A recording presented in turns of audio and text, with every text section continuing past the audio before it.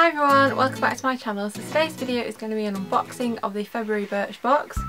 So I have the box here and it is the Shine Bright Like a Diamond box and I really really like the design of this month's box and there's some really really good products in here. I've already tried a couple of them so I can tell you about them and there are some that I haven't tried yet that I'm going to try later. So I'm going to unbox everything and show you what I got and as usual it comes in the little cloth bag that you normally get and there are three makeup items this month and two skincare items. I'll start with the most exciting thing that I thought was in the box and it's a makeup brush from Spectrum. Now I've um, seen these on Instagram before and I always thought they looked really really nice. I was really happy to get one of these in my box and it's shaped kind of like the Charlotte Tilbury um, brush that I use for my contour so I'm really excited to give this a go.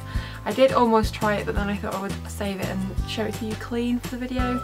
It's got a pink wooden handle which is really really um, smooth and shiny. It's really really nice to hold. It has a nice weight to it and then it has the um, sort of tip bit and then the brush. The brush is synthetic but it's super soft. Um, it kind of reminds me of um, the Kiko brushes I have and stuff. It's really really nice quality. Obviously I haven't tried it yet but I'm really really impressed and I love the colours of it. I think it's just such a lovely brush and I was happy to get this in my box. Next thing is the other exciting product and this is by LOC which I think is Love of Colour. Um, this is Birchbox's own uh, makeup brand that they launched this month and it's one of those um, chubby stick eye crayon things that I really really like and I've used this on my eyes today and then in the outer corner I've just blended a little bit of my Charlotte Tilbury one which is kind of like a, um, a rusty red colour.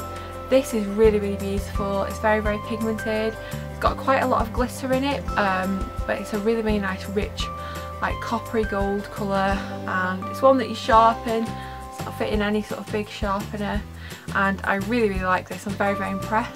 Um, when I saw they were bringing it out I was a bit worried that pigmentation might not be very good or it might not be as good as some of the other ones I've tried but it's really really nice and I really really like this and it's definitely a colour I'll get a lot of use out of uh, especially into the summer as well. This will look really really nice uh, with like tan skin and a bit of bronzer so really really happy to get that in my box. Next thing is something else I've tried and it's the Frats Boy blush from The Balm and I've put a little bit of this in my cheeks today and this is minute um, which is really really nice. It's good for travelling. I'm going to New York this summer and I plan on buying quite a lot of makeup while in there so this will be the kind of thing that I'll take with me.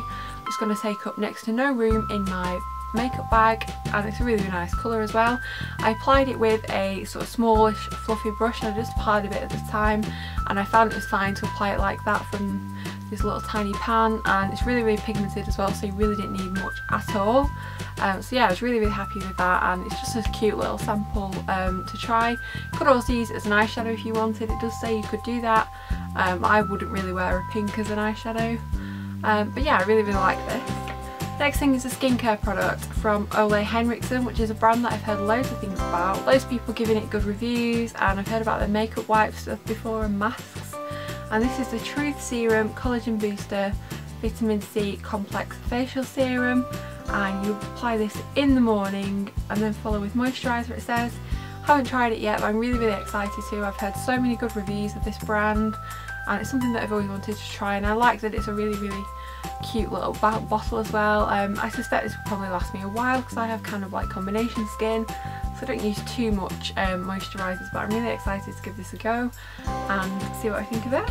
Next is a body lotion from I think you pronounce it Kashin, um, I might be totally wrong there, but this is the Water Hyacinth Lime Blossom body lotion and what I really really like about this, it's kind of novelty, but the packaging looks like a really really luxury um, screw off lid but it's actually a little, um, it flips up so I thought that was really really nice.